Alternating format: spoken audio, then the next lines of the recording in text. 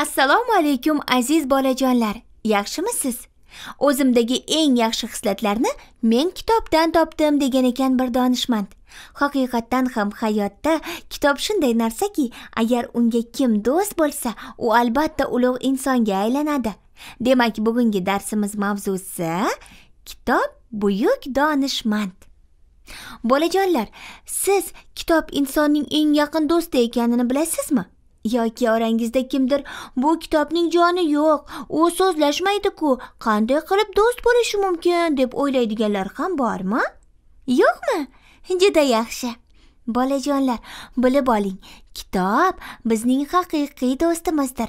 Chunki uni ichi g'ich g'ich aql va to'la bilimdir. U albatta so'zlashadi faqat uning so'zlari varaqlariga yozilgan. Kim kitobni sevsa uni ko'p o'qisa albatta o'sha bilimlardan bahramand bo'ladi. U o'zini aqlli va bilimli bo'lib qolganini keyin albatta sezadi.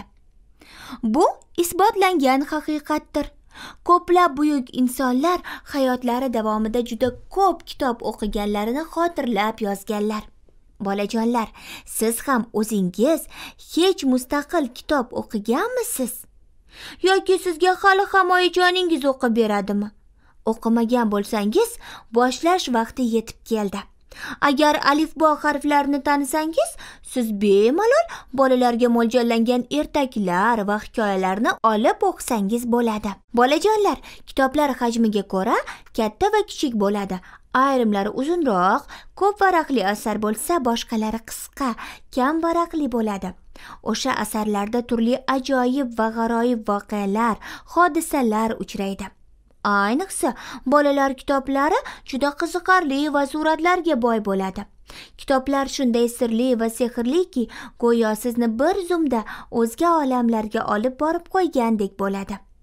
Bir kitobni varaqlasangiz dinozavrlar yashagan zamonlarga borasiz.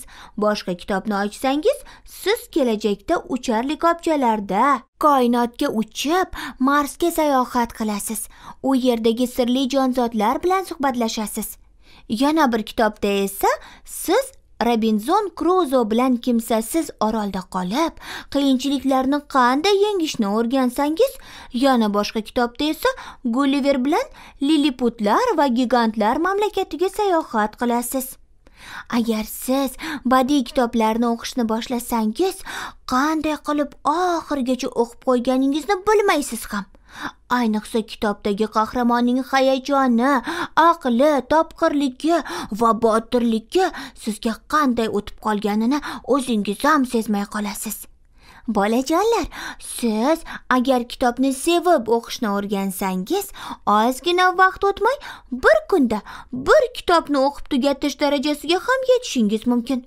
Hozirda bizning kitobsevar do'stlarimiz orasida bundaylari juda ko'p. Kitob beminnat ustoz. Har daqiqa u bizni donishmandlarning bilim xazinasi bilan oshno eta oladi deb yozadi buyuk shoir bobomiz hazrati mir alisher navoiy. Kitob aql qayrog'i. Kitobsiz aql qanotsiz qush.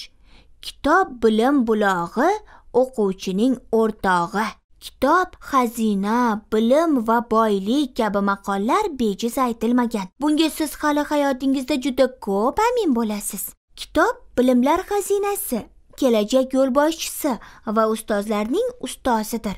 Albatta bu so'zlarning barchasi kitobga atalgan. Shuningdek kitob tarix darakchisi. Kitob orqali biz bir necha ming yil avvalgi tariximiz haqida bilib olamiz. Hozirgi kunimizni yaxshiroq anglaymiz va ayniqsa kelajakni ongimiz bilan tasavvur qilamiz.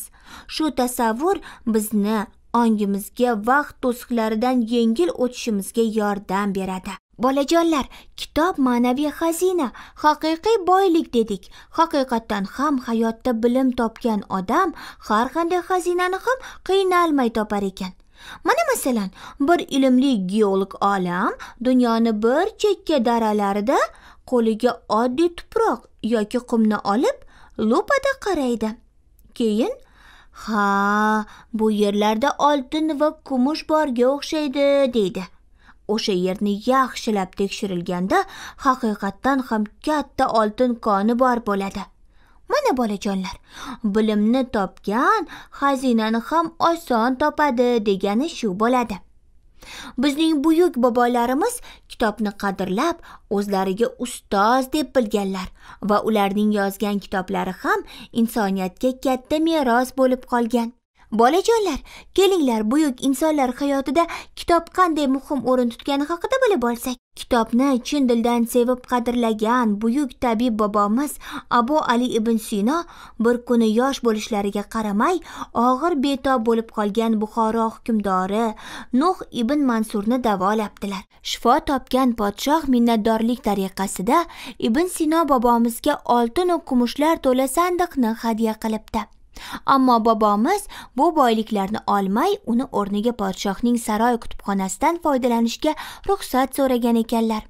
Chunki bebaho kitoblarga to'la saroy kutubxonasidan foydalanishning o'zi tabiiy bobomiz uchun har qanday boylikdan ustun edi.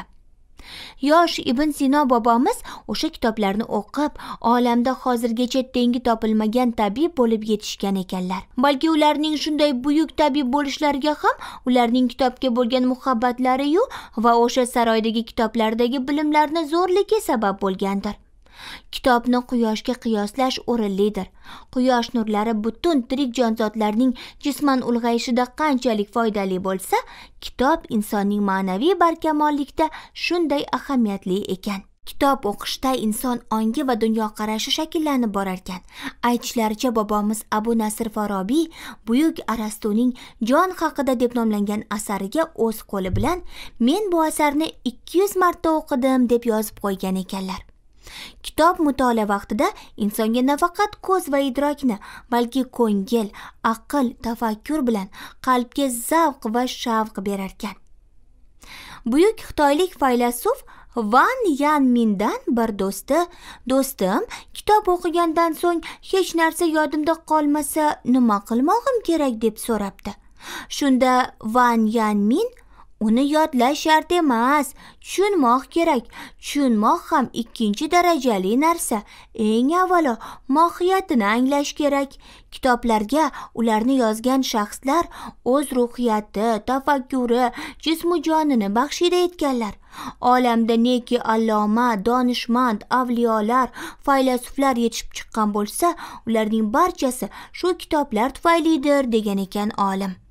Bolajonlar kitob buyuk donishmand u tufayli yer yuzida ilm fan misli ko'rilmagan darajada rivoj topdi. Cheksiz sir sinoatlar tilsimi hozirgi davrga kelib insoniyatga oshkor bo'lib bormoqda.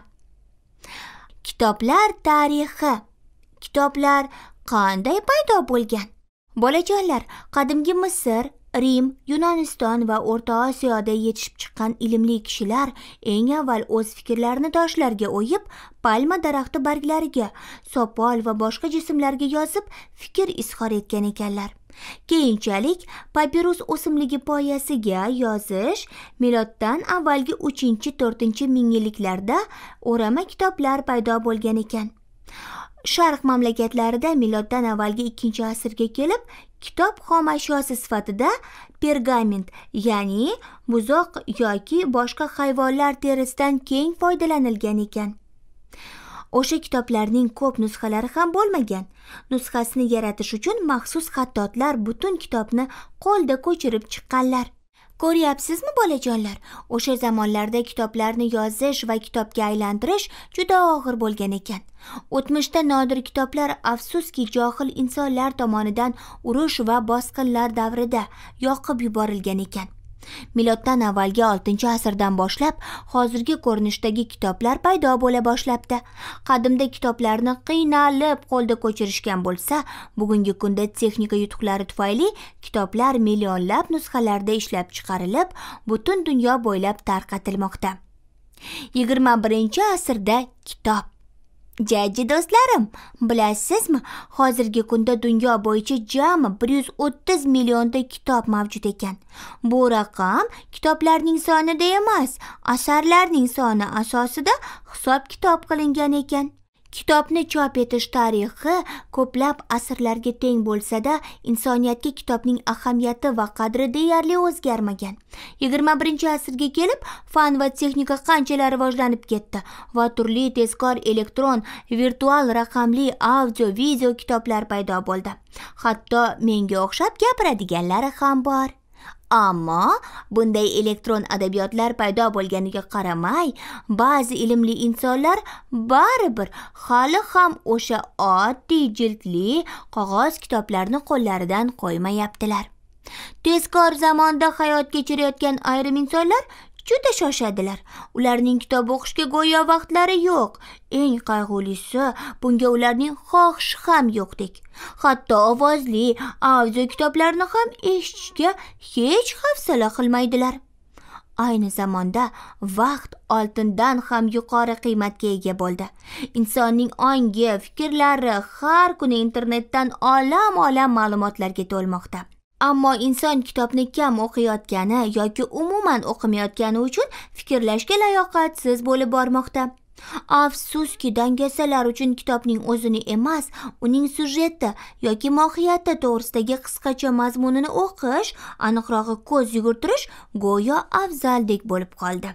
Kitobning hayotdagi o'rnini tezkor xabar deb atalgan hissiz va ruhsiz ashyo egallab oldi. Natijada insonlar tinimsiz tezkor xabar qabul qilishga moslashib qoldilar.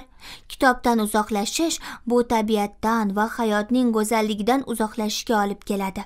Ya'ni kitob o'qimagan odam ko'cha ko'yda odob axloqni va oddiygina salomlashish xushmuomalalik madaniyatini ham bilmay qoldi. Kitob kishini ziyoli qiladi va sizni albatta donishmand qiladi degan ekan donolar. Shunday ekan bolajonlar kitob o'qishdan aslo to'xtamang. Mana bolajonlar kitoblar to'g'risida yetarli ma'lumotga ega bo'ldingizmi? O'ylaymizki endi kitoblar sizning eng yaqin do'stingizga aylanadi. Shu bilan sizga keyingi mavzularda uchrashguncha xayr deymiz. O'zingizni ehtiyot qiling.